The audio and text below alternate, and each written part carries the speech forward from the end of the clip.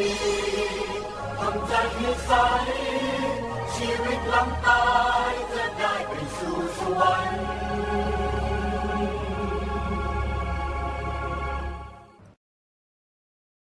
หลับตาฝันเป็นตูเป็นตาตื่นขึ้นมา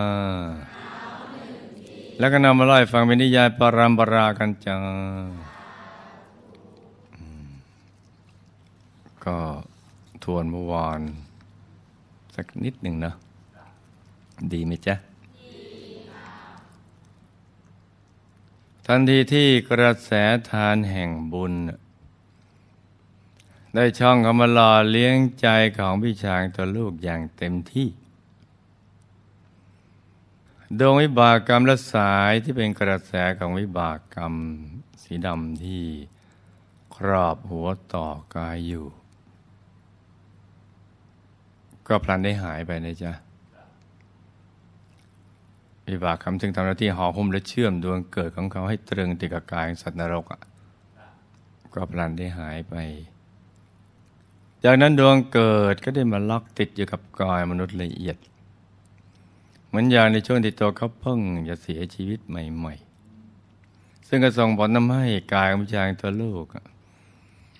จากเดิมที่เป็นกายของสัตว์นรกผอมดำจะเหลือแต่กระดูก ก็ได้แปรเปลี่ยนมาเป็นกายมนุษย์ละเอียดที่สวมชุดขาว และดูผ่องใสสว่างสวยขึ้นมาในทันทีเมื่อวานเรามาจบตรงนี้ใช่ไหมจ๊ะ หลังจากที่พี่ชายตัวลูกได้แปรเปลี่ยน จากกายของสัตว์นรกมาเป็นกายมนุษย์ละเอียดแล้ว คือจากที่ยู่ที่ยมโลกนี่นะจ๊ะมาเป็นกายมนุษย์ละเอียดแล้ว ความรู้สึกนึกคิดแบบมนุษย์ปกติของตัวเขา ก็เริ่มกลับคืนมา คือ คือตัวเขาเริ่มได้สติ แล้วก็รู้สึกสำนึกผิดที่ตัวเองได้ไปทำบาปอากุศลเอาไว้ อีกทั้งตัวเขายังรู้สึกไม่อยากที่จะทำบาปอีกแล้วเพราะตัวเขารู้สึกเข็ดแล้ว กลัวแล้ว และไม่อยากที่จะไปตกนรกอีกแล้ว ไม่อยากจะไปอยู่ที่ยมโลกอย่างนี้นะจ๊ะแต่อย่างไรก็ตามแม้ว่าพี่ชายตัวลูกจะได้กลับมาเป็น กายมนุษย์ละเอียดและพ้นจากการถูกทันทรมานแล้วก็ตาม แต่ทั้งความรู้สึกหวาดกลัวและความเจ็บปวดทุกทรมาน จากการถูกทันทรมานต่างๆ ที่ตัวเขาเพิ่งได้รับมา ก็ยังคงฝังรากลึกอยู่ภายในใจของตัวเขาอย่างชัดเจน คือมันยังอยู่ในเห็นจำคิดรู้ของกายละเอียดอยู่ นี่เนาะก็ยังขอยืนยันนะจ๊ะว่า มีเฉพาะช่องนี้ช่องเดียว DMC DMC ช่องนี้ช่องเดียว DMC DMC the only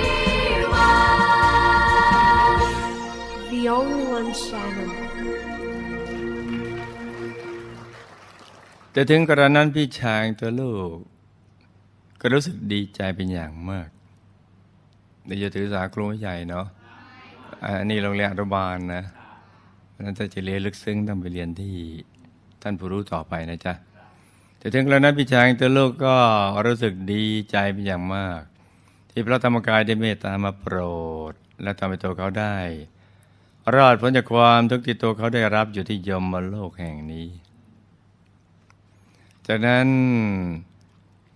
องค์พระธรรมกายก็ได้เมตตาฉายภาพของพระเถระ และภาพของบุญที่พระเถระได้ร่วมบุญตักบาพระหนึ่งหมื่นหนึ่งร้อยหนึ่งรูปที่อำเภอหัวหิน จะเป็นงานบุญที่เพิ่งผ่านมาเมื่อไม่นานมานี้ ให้พี่ชายตัวโลกได้เห็น เมื่อพี่ชายตัวโลกได้เห็นภาพของพระเถระแล้วตัวเขาก็จำพระเถระได้ หลังจากตัวก็จะจำบ้างพระเถระได้แล้ว แต่ก็ยังรู้สึกดีใจและปราบปลื้มใจในผลแห่งบุญ ที่พระเทระได้ร่วมบุญตักบาตรพระหนึ่งหมื่นหนึ่งร้อยหนึ่งรูปที่อำเภอหัวหิน แต่เป็นงานบุญที่เพิ่งผ่านมาไม่นานนี้ยังไม่มีประมาณอีกด้วย นี่เนาะเออ บุญตักบาตรนี่ไม่ธรรมดานะนี่เหมือนถวายมหาสังฆทานแล้วก็รักษาข้อวัดปฏิบัติของ ระภิกษุนี่นะจ๊ะนี่เลยในการบิณฑบาตแล้วกาลียพิจารณาทโลกก็ได้กรมร้องกราบขอบคุณ พระธรรมกายและพระเถระด้วยความรู้สึกที่ทราบซึ้งใจในความเมตตาของท่าน ที่ได้มาช่วยตัวเขาไว้ จากนั้นตัวเขาก็ได้กล่าวกับพระธรรมกาย และฝากมาถึงพระเถระว่า ต่อจากนี้ไปเนี่ยตัวเขาจะไม่ทำบาปอากุศลและจะไม่ดื่มน้ำเมาอีกต่อไปแล้ว เพราะตัวเขารู้สึกเข็ดแล้ว กับความเจ็บปวดทุกทรมานที่ตัวเขาได้รับมาตลอด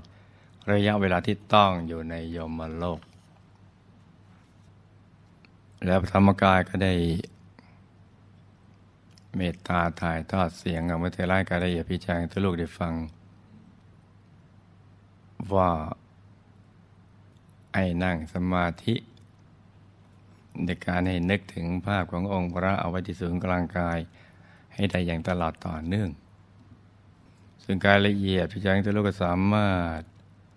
นั่งสมาธิตามคำสอนของพระธรรมกายได้ และในระหว่างที่การละเอียดพิจารณาทุกลูกกำลังนั่งสมาธิอยู่นั้นกำลังนั่งอยู่เนี่ยจ้ะพระธรรมกายก็ได้นำกายละเอียดของเขาแวบ จากยมโลกมหานรกขุมที่ห้ามาอยู่ที่หน้ามหาธรรมกายเจดีในทันทีนี่เนาะ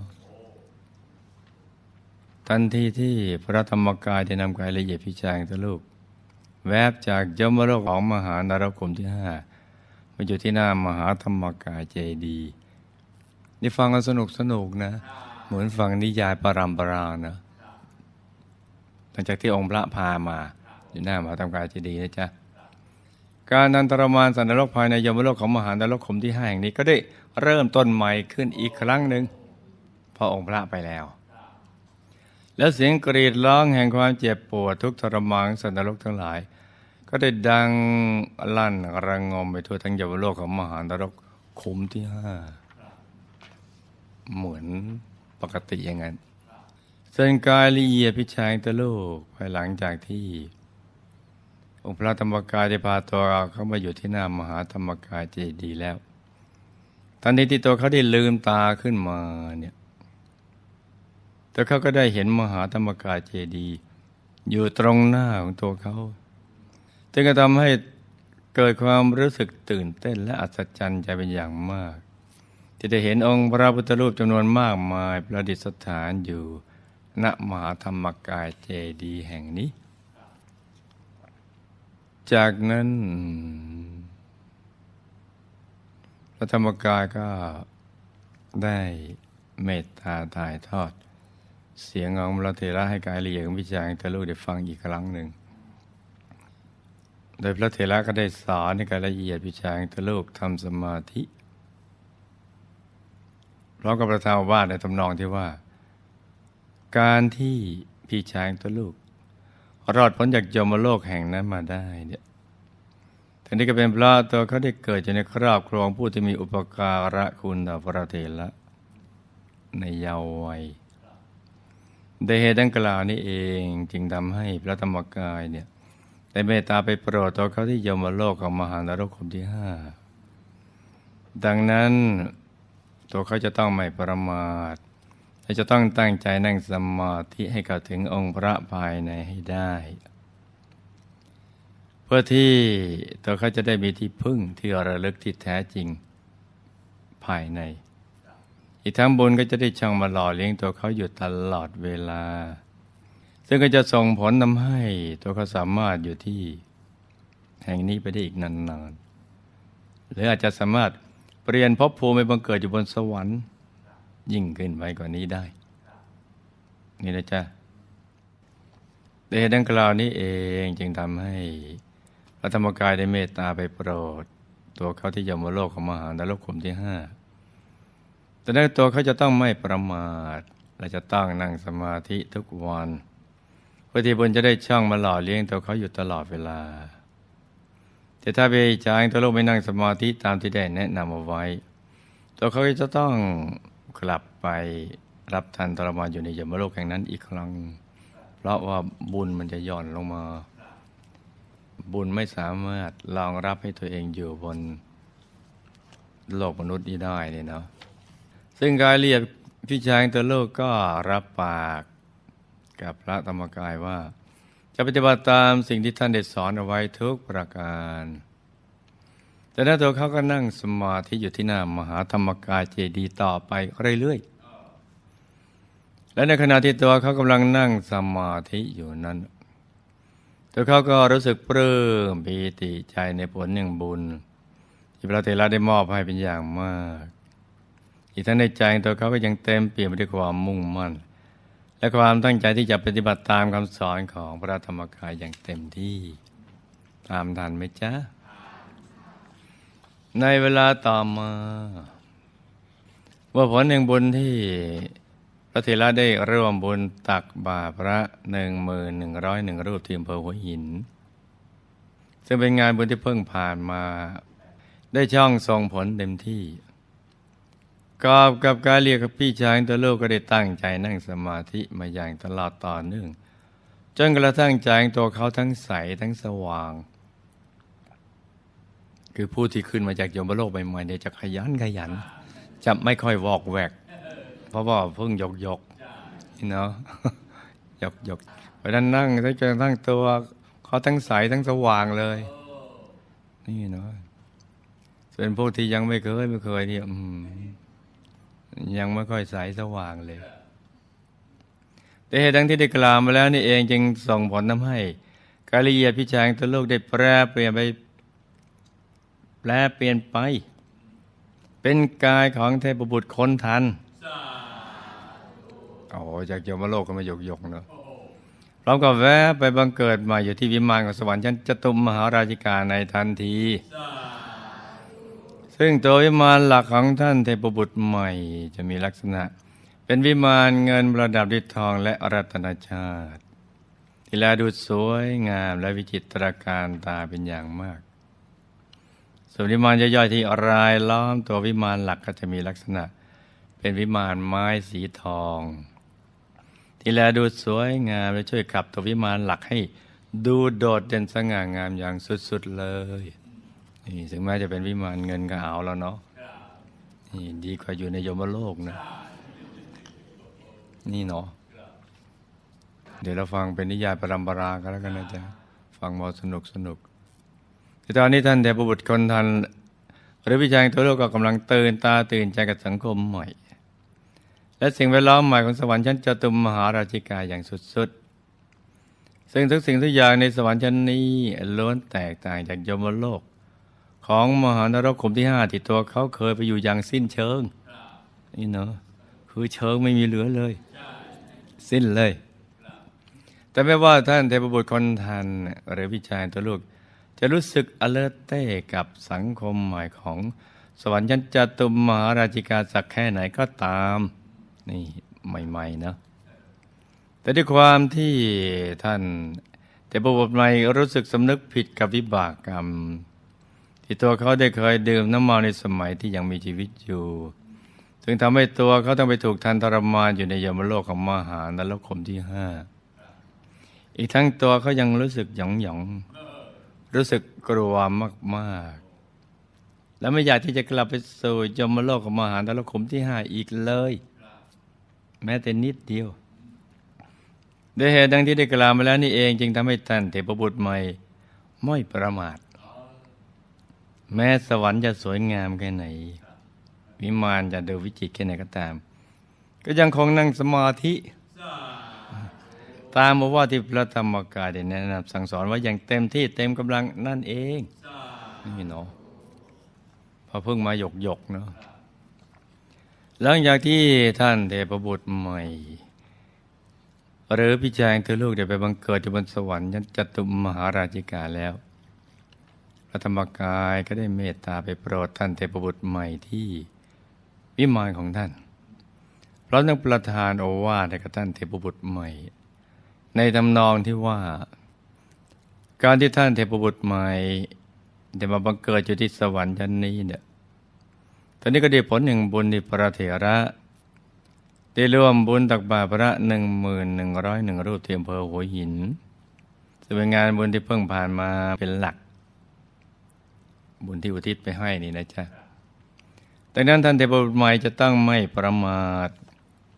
และจะต้องตั้งใจนั่งสมาธิให้เข้าถึงองค์พระภายในให้ได้เพื่อที่ตัวท่านจะได้มีที่พึ่งที่อระลึกที่แท้จริงภายใน อีกทั้งบุญนี้ก็จะได้ช่างมาหล่อเลี้ยงตัวท่านอยู่ตลอดเวลาอีกด้วย ซึ่งก็จะส่งผลทำให้ท่านเทพบุตรใหม่ สามารถจะหยุดอยู่ที่สวรรค์แห่งนี้ไปได้อีกนานๆถ้าบุญหย่อนไม่ได้นะจ๊ะ สวรรค์รองรับไม่ได้ ต้องเป็นเทวดาตกสวรรค์นี่เนาะแต่ถ้าหากท่านเทพบุตรไม่ประมาทมัวแต่เพลิดเพลินในทิพยสมบัติ แล้วก็ไม่นั่งสมาธิตามที่ได้บอกเอาไว้ ที่ได้แนะนำเอาไว้กำลังมูลในตัวของท่านเทพบุตรใหม่ก็จะหย่อนลง ซึ่งก็จะเป็นผลทำให้วิบากกรรมเก่าได้ช่องตามมาส่งผล แล้วก็ดึงดูดให้ตัวท่านต้องกลับไปรับทันตรมาน อยู่ในยมโลกแห่งนั้นอีกครั้งหนึ่ง ตอนจากมนุษย์ไปอยู่ยมโลกว่าทุกข์แล้วนี่นะจ๊ะจากสวรรค์เนี่ยสุขุมารชาตินี่ย ไปอยู่ยมโลกนี่เรานึกเอาก็แล้วกันเนาะเมื่อพระธรรมกายได้เมตตาประทานโอวาทให้แก่ท่าน เทพบุตรใหม่ หรือพี่ชายของตัวลูก เป็นที่เรียบร้อยแล้ว ท่านเทพบุตรใหม่ก็ได้รับปากกับพระธรรมกายว่า จะปฏิบัติตามคำสอนที่พระธรรมกายได้เมตตาสอนไว้ทุกประการจากนั้นท่านเทพบุตรใหม่ก็ได้กราบขอบพระคุณ ธรรมกายจะได้เมตตาช่วยเปลี่ยนภพภูมิตัวเขา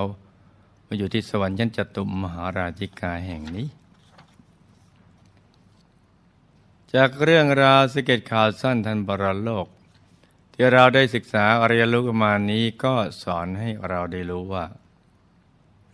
สวรรค์นั้นไม่ได้อยู่ในอกนรกไม่ได้อยู่ในใจ เหมือนอย่างที่เราเข้าใจแล้วก็พูดสนุกปากตามๆกันมาเท่านั้นนี่นะจ๊ะ เพราะทั้งนรกและสวรรค์นั้นเป็นภพภูมิที่มีอยู่จริง แล้วก็เป็นของสากลที่ทุกคนในโลกเนี่ยไม่ว่าจะเป็นเชื้อชาติศาสนาหรือเผ่าพันธุ์ใดเนี่ยจะเชื่อหรือไม่เชื่อก็ตามก็สามารถที่จะไปบังเกิดอยู่ในนรกและสวรรค์ได้ทั้งสิ้น ซึ่งทั้งนี้ทั้งนั้นก็ขึ้นอยู่กับผลของบุญและบาปที่แต่ละคน ได้เคยสั่งสมไว้ในสมัยที่ยังมีชีวิตอยู่ หรือพูดง่ายๆคือทำดีได้ดีทำชั่วได้ชั่วตามกฎแห่งกรรมนั่นเอง แม้ว่าตัวเราจะเชื่อหรือไม่เชื่อ จะรู้หรือไม่รู้ก็ตาม แต่ทั้งนรกและสวรรค์นั้นก็ยังคงมีอยู่ เพราะฉะนั้นอย่าไปทำแอกแอกไปนะ อุปมามันก็ดวงอาทิตย์และดวงจันทร์ที่เป็นของสากลสำหรับมวลมนุษยชาติทั้งหลาย ซึ่งถ้าใครตาดีและก็ลืมตาดู ก็จะมองเห็น ส่วนใครตาดีแต่ไม่ลืมตาดูก็จะมองไม่เห็นต่นั่นก็ขึ้นอยู่กับตัวเราแล้วละว่าเราจะศึกษา เรียนรู้เรื่องกฎแห่งกรรมในช่วงที่ตัวเรายังมีชีวิตอยู่ จนหายสงสัยเพื่อที่เราจะได้ดำเนินชีวิตได้อย่างถูกต้องและดีงาม หรือจะรอให้ไปเห็นตอนที่ตัวเราตายไปแล้ว หรือที่เราคุ้นๆกับประโยคที่ว่า เราจะเชื่อตอนเป็น หรือจะไปเห็นตอนนั่นเองนี่นะจ๊ะส่วนถ้าใครไม่เชื่อก็ไม่เป็นไรจ้านี่นะจ๊ะเชิญมาพิสูจน์ด้วยตัวเองเถิด เพราะฉะนั้นเราจึงจำเป็นอย่างยิ่งที่จะต้อง หันมาศึกษาเรียนรู้เรื่องราวความเป็นจริงของชีวิต ให้เข้าใจอย่างแจ่มแจ้ง โดยเฉพาะ เรื่องกฎแห่งกรรม ซึ่งเป็นกฎที่คอยควบคุมความคิดคำพูดและการกระทำของเราอยู่ตลอดเวลา 24 นอเลยเพื่อที่เราจะได้ดำเนินชีวิตได้อย่างถูกต้องและดีงามในความไม่ประมาทแล้วก็จะได้ตั้งใจสั่งสมบุญสร้างบารมี ประพฤติดีปฏิบัติชอบ ตามหลักธรรมคำสอนของพระสัมมาสัมพุทธเจ้า จะนำทานรักษาศีลและก็เจริญสมาธิภาวนาเป็นต้น ถ้าเราทำได้เช่นนี้เนี่ยชีวิตการสร้างบารมีของเราก็จะได้อยู่รอดปลอดภัยแล้วก็มีชัยชนะในเส้นทางการสร้างบารมีไปตราบกระทั่งถึงที่สุดแห่งธรรมสำหรับเรื่องราวสเก็ตข่าวสั้นนันบรโลก ของพี่ชายตัวลูก หรือพี่สาก็คงจะต้องจบลงพอสังเกตเพียงเท่านี้ เอวังก็มีด้วยประการละชนนี้